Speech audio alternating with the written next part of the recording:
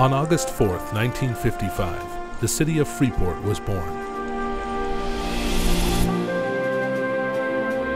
During the early 1950s, American investor Wallace Groves had a vision to transform the pine barren forests of Grand Bahama Island into a well planned, developed city. In his own words, there were too many disadvantages to doing so, but none that could not be cured by planning, work, and money. As in other matters, Groves was a visionary seeing ahead of his time. Joined by British financier Sir Charles Hayward, their vision for development led to negotiations with the government of the Bahamas and the signing of the monumental Hawksbill Creek Agreement over 50 years ago. The agreement mandated that the Port Authority dredge a deep water harbor and also be responsible for the provision, management, and administration of all infrastructure, municipal and community services, and development within the original 50,000 acres of Crown land that was granted, which was later extended to 138,000 acres and now encompasses 160,000 acres known as the Port Area, or 230 square miles of the island's entire 530 square miles.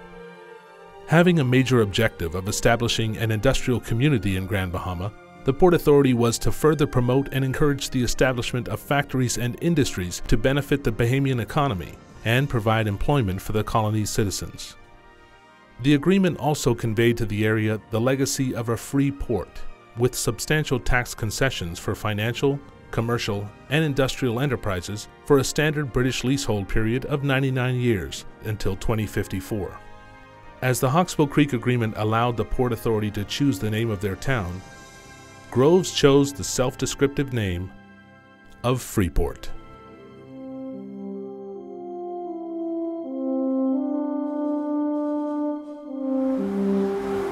When I arrived in 1968, there was nothing downtown. One of the first buildings that got put up actually was the post office. Uh, and then I built the first Regent Centre and obviously it continued after that and then the Royal Bank got built and Mr. Baker and there were very few buildings. Uh, there was the Port Authority building downtown, Barclays Bank, the Seasum Manor, which is now bulldozed down, Jansel Court, and the pub on the Mall. Across the road from the pub on the Mall was just finished the uh, International Bazaar. The island in general was booming. We have probably the best roads in any island in the Caribbean. We have the infrastructure. You've only got to look at Nassau. At least here, we say we're in a traffic jam, but the most of the traffic jams last five minutes. Go to Nassau, how long they last there. That's not just the reason. I, I think we've got a more upscale quality of life here. Yes, we are going through hard times, but I'm sure that will blow through eventually. And uh, seen vast changes in 40 years, vast changes. The Grand Bahama Port Authority fulfilled all of the mandates required under the 1955 agreement within the specified period. Primarily, the dredging of a deepwater harbor at least 400 feet in length and 27.3 feet in depth was accomplished within three and a half years of the signing.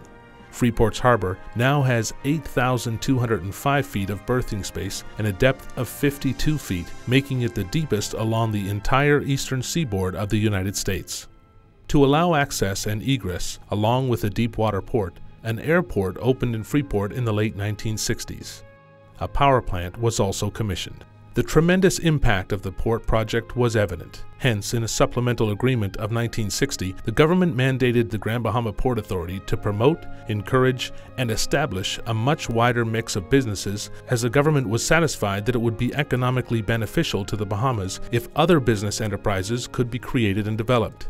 Other enterprises like tourism, gambling, residential, and real estate development. The 1960 amendment brought the Bahama Cement Company the Grand Bahama Development Company, or DEVCO, in 1961, and several schools, like St. Paul's Methodist College in the early 1960s, Mary Star the Sea, 1960, Freeport High School in 1965, and Catholic High School in 1966. In 10 years, by 1965, the Grand Bahama Port Authority had fulfilled the original mandates and all additional obligations required under the 1960 amendments. The government being desirous of encouraging and facilitating further development, again amended the Hawksbill Creek Agreement. Under the 1966 Supplemental Agreement, the Port Authority was required to construct or procure the construction of 1,000 low and middle income homes, build schools to accommodate 1,400 students in the Pinders Point, Lewis Yard, Hunters, Eight Mile Rock, and Port area, construct two medical clinics in the Port area and Hawksbill, extend water lines to Pinders Point, Lewis Yard, and Eight Mile Rock, and contribute $10,000 towards the cost of town planning by the government in West Grand Bahama. This 1966 amendment brought even further growth with unprecedented touristic, residential, and industrial development. In 1971, a royal commission was appointed to review the Hawksbill Creek Agreement. Their finding? Anyone visiting Freeport today will see an utterly different place from the Pine Barren it was before the date of the first agreement. It is now a vast, sprawling area displaying unmistakable signs of a carefully planned development. Its importance is fundamental. Without it, there would be no Freeport. In 1976, Sir Jack Hayward and Edward St. George acquired the interests of Wallace Groves and took over the Port Authority. Subsequently, in 1981, they bought all the remaining shares and privatized the company, ushering the Magic City into a new era. In 1951, the population in Grand Bahama was just over 5,000, under 6,000 people in the entire island. Today, we can see so, so many more people. The population has grown in leaps and bounds.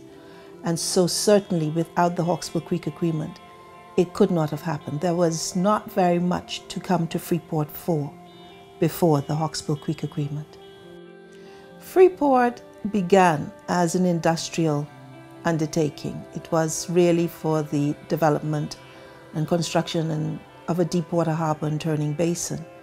And the persons who came here to do that, they wanted their families to come. And so, by extension, again, you had to have the churches, the um, hospitals, the schools, uh, the homes. And as a result, the, the development of Freeport grew from that of an industrial center to a developing community. Our location is key, the infrastructure is superior in every sense, and it didn't really cost the government very much there was a lot of planning that was put into the development of Freeport, laying it out and planning it and all the zoning that took place.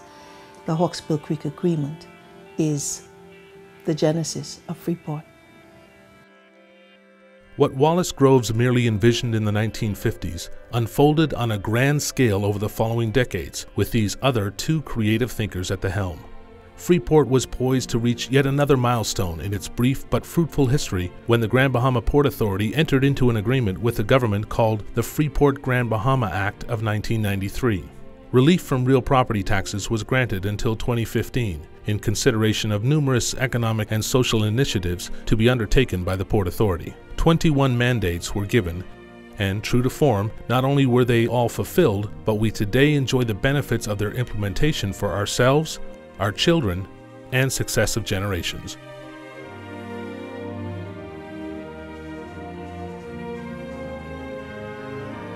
Over the years, the Port Authority has had a very good relationship with the government and together uh, much has been achieved. The Port Authority has had some extension under the Hawksbill Creek Agreement and with the, with the extension which is going to expire in 2015. We were committed to do any number of things, and I believe it is true to say that we have done all of those things. The very last one was that we were to build an arts and crafts center. Did they meet their obligations to the government under the Hawksbill Creek Agreement? I believe by and large they have done so. The rest of the Bahamas really don't know Freeport as well as they should. I believe Freeport, despite what you might hear elsewhere in the Bahamas, I think that Freeport is the future of the Bahamas. From the outset, Freeport was a master planned city with designated areas for specific types of development. Trade and industry would be established at a hub in the west. Touristic and residential growth were earmarked for the east along with real estate landholdings, whilst the city core would house its commercial, financial, technological, and retail sectors.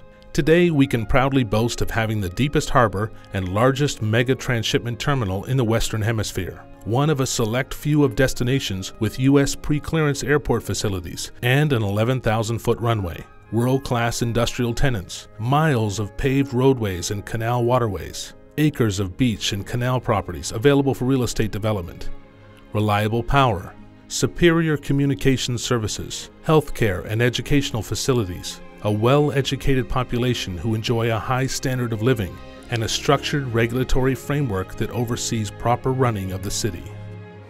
Freeport has been very, very important to the overall national development of this country. Uh, we know that uh, Grand Bahama Freeport has contributed to the national treasury in excess of $100 million uh, in the last every year. Uh, in fact, we also know that in the Hawksbill Agreement itself, it, it mandates that uh, it returns 125% of the cost of uh, operating the government services here in Grand Bahama. As you know, Grand Bahama is a wide open, fully developed city with infrastructure to be envied in the region and I dare say around the world. Freeport offers access to quality education, and infrastructure, residential and commercial, that is uh, enviable we don't have to deal with the crime and the traffic congestions. Uh, the ease of doing business in terms of interactions with the regulatory agencies is just nothing to compare. Uh, when we talk about the cost of uh, real estate and the, the size of the properties that you can get for the same kind of monies that you would invest in Nassau, there's no comparison. And, and we're not talking about properties in, in, in rundown areas, we're talking about quality properties of wonderful size. If we look at our canal front system, we have the largest canal system, uh, I think, anywhere in the country for sure, and probably in the region. Uh, this is the place to be. Our country's success is integrally linked into the triumph of the second city's industrial prowess. As the vision for Freeport continues to get brighter and brighter through successful partnerships with governmental and other agencies, the Grand Bahama Port Authority's new mission to better the lives of the Grand Bahama community and by extension the Bahamas through the unique features offered by our island has already begun to bear fruit. Fulfillment of the dream of its original creator has been passed on to a new generation of innovative leaders at the helm of the Port Authority young Bahamians who have benefited firsthand from all that Freeport has to offer and who are now working diligently to secure its future. One of the first goals of the Making It Happen initiative was to restore Freeport's City Center by means of aesthetic and infrastructural improvements under an immensely successful downtown turnaround project. Additionally, much attention has been paid to encouraging entrepreneurship by means of several programs introduced through the Port's Enterprising Center. One-year license fee waiver for new tenants in the International Bazaar have totally reinvigorated the store count, with many Grand Bahama residents becoming business owners and some for the first time. Other campaigns that have recently come on stream include licensee referral, warehouse storage space, shared office space, and insurance bond and franchising initiatives. These coupled with the relaunch of the Grand Bahama Port Authority's website and streamlining of licensing, application, inspection, and approval processes have created an environment conducive to business development. Also, we are pleased to have joined forces with the Grand Bahama Chamber of Commerce by providing our economic development strategy to be incorporated with an overall strategy for Grand Bahama. Our strategy clearly identified short, medium, and long-term goals. With the continued partnership with the government of the Bahamas and the private sector, Grand Bahama is poised for success. As residents of this island prepare to compete within the global village, the Grand Bahama Port Authority Scholarship Program is committed to training and educating our youth to occupy niche careers within our country and beyond. As guardians of this fair city, the Grand Bahama Port Authority is proud of the role that we play in Freeport's success. Over the past 50 years, the pine forest has given way to a modern city that we call home. There have been challenges that residents have conquered with courage, resiliency, and strength. Let's celebrate from whence we came and how we've grown, and may we eagerly anticipate and embrace the prosperity and success that we know the future holds.